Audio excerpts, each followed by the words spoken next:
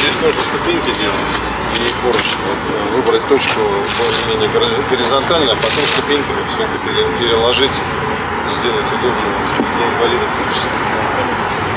Такое распоряжение дал Андрей Иванов в ходе инспекции филиала второй поликлиники пару недель назад.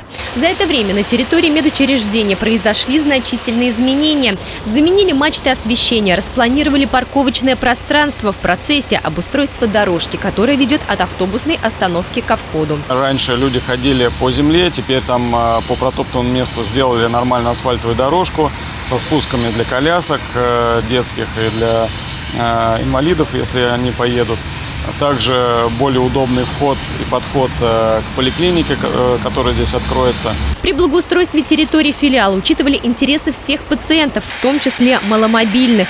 Перед зданием посадили каштаны. Теперь путь одинцовцев от автобусной остановки до поликлиники будет проходить через сквер. Здесь появятся элементы, э, скажем, малоархитектурных форм, в том числе и с творчеством. То есть э, здесь будет маленькая изюминка.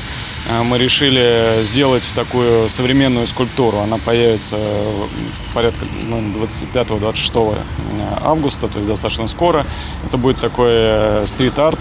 Сначала территорию медучреждения планировали огородить, чтобы прохожие не ходили по газонам, но потом от идеи отказались. А асфальтированные дорожки проложили там, где раньше были протоптаны тропинки.